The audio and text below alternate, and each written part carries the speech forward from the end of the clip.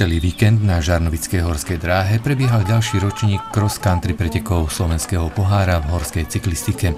Takže dnešný deň, prvý deň sme mali tie mládežnícke kategórie, to znamená, že išli nám mini žiaci, mladší žiaci a starší žiaci a zajtra pokračujeme ďalšími kategóriami, kategóriou kadetov a nasledujú juniori a elit pretekári muži ženy. V prvom dni, v sobotu, sa na trati predviedlo vyše 100 prevažne mladých pretekárov. Zostali sme na pôvodných tratiach, Jediný, kto nám dnes trošku zmenil trať, bolo počasie, že nám ho navlhčil, takže bola prakticky jedna časť lesnej, e, toho lesného úseka takmer nezjazdná na bicykli, že tam dosť veľa behalo, šmíkalo. A to sa odzrkadlilo aj na samotných pretekoch, ale aj na výsledkoch.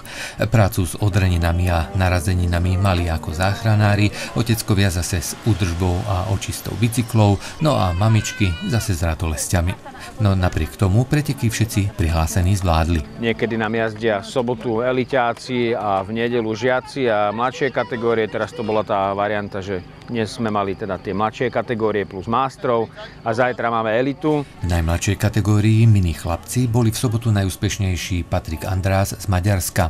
U dievčat zase Sarah Domiterová z oddielu Proefekt Košice.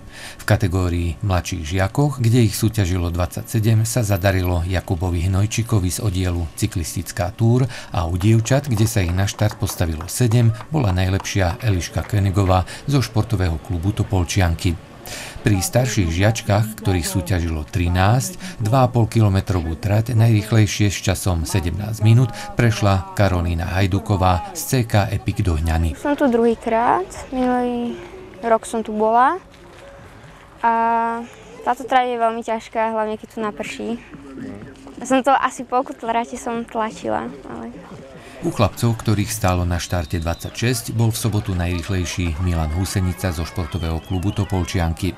Milan je v sezóne rozbehnutý, pretože už minulý týždeň na pretekoch mieru zo 123 skončil v Lanškrovne na prvom mieste. Tak robím tento šport od 8 e, rokov, veľmi ma to baví, cyklistika ma bavila od, od malička a vlastne potom sa ma to začalo veľmi baviť, tak som chcel chodiť aj na preteky a vlastne je to, je to super šport, fakt ma to veľmi baví aj pretekať. Slovenský pohár na trati v Žarnovici ešte nekončí. Ešte celú nedelu budú o medaily závodiť staršie ročníky v kategóriách kadetov a elit muži, ženy.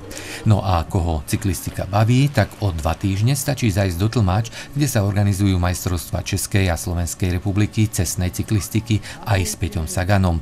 Prvého a druhého to budú majstrovstva mládeže v Žiari nad Hronom. A takým vyvrcholením toho, takéhoto cyklistického bloku v regióne Gron bude e, medzinárodný cyklistický pretek žien na Novej Bani 8. júla pod patronátom e, predsedu bansko kraja pána Luntera a úplný záver bude 9.7. medzinárodný cyklistický pretek mužov pod patronátom ministra zahraničných vecí a v rámci V4. Takže to bude taký záver toho športovo-cyklistického bloku tu na v regióne Gron.